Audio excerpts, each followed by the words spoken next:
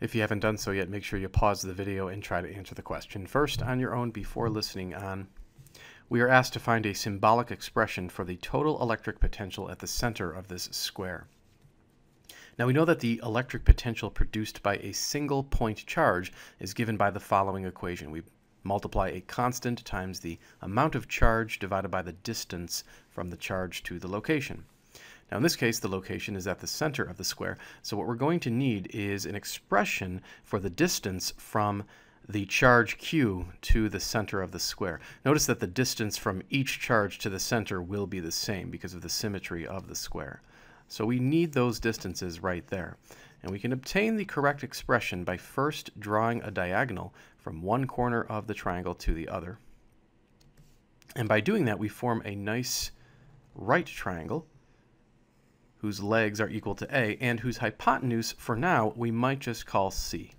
Now, of course, we know from the Pythagorean theorem that c squared is equal to a squared plus b squared.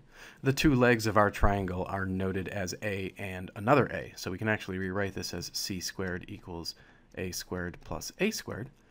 We'll add the a squareds on the right-hand side, and then we'll take the square root on both sides of the equation, and we can see that the length of the diagonal of the square is equal to the square root of 2 times the square root of a squared. Notice, of course, the square root of a squared is just a, so we might want to write that as just radical 2a.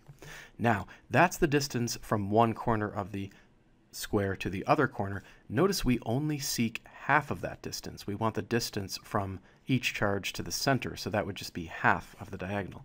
Therefore, the distance we seek from here to here will be half of this distance. So we'll have the square root of 2a divided by 2. So that will be the distance from each charge to the center. Next, we want to begin to set up the expression for the electric potential at the center. You might notice that because each charge has a value of capital Q, and because the distance from each charge to the center is the same, to get the total potential at the center, what we can do is take the expression for the electric potential of one of the charges and simply multiply it by 4. In essence, electric potentials are added like algebraic quantities. So if you have four of them based on identical values, then you can just take one of the values for electric potential and multiply it by 4. So in other words, we're going to have 4 multiplied by the constant k sub e times the magnitude of charge, or I should say the amount of charge, which is capital Q, divided by the distance. And we just found that distance to be radical 2 over 2 and then a. So I guess the trickiest part might be to simplify this expression here. We have a complex fraction. We have a numerator divided by a fraction. So we're going to employ what's called keep, change, flip to simplify that. So we have 4 multiplied. Now, keep, change, flip means keep the numerator the same. So we'll have k sub e times capital Q. Change the division to multiplication, and then flip that fraction highlighted in yellow. So you would have 2 all over radical 2a. So we don't typically leave square roots in the denominator. So to rationalize it, as it is known, we will multiply the bottom and the top by the square root of 2. Up top, you're going to multiply 4 times 2 times radical 2. So that's going to give you 8 radical 2 in the numerator. And then you still up top have k sub e times q. Now, in the denominator, radical 2 times radical 2 is radical 4, but radical 4 is just 2. The square root of 4 is just equal to 2. So you'll have 2a.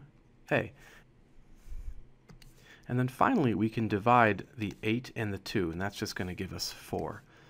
So the final expression will be 4 radical 2 k sub e capital Q all divided by a. So this would be the correct answer to part A.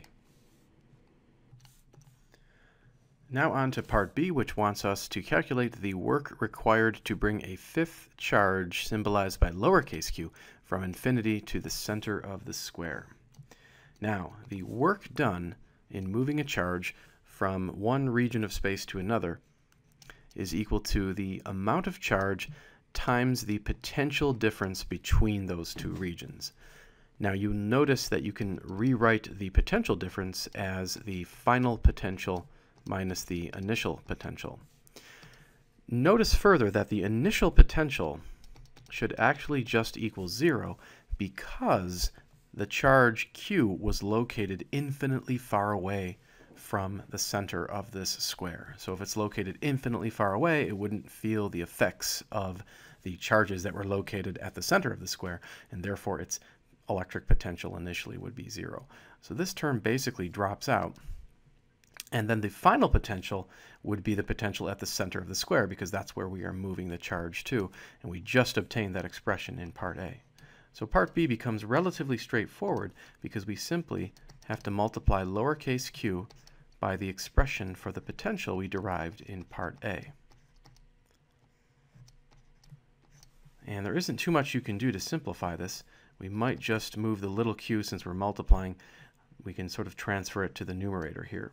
So you would have 4 radical 2 k sub e, capital Q, lowercase q, all over a. And this would be the correct answer to part B.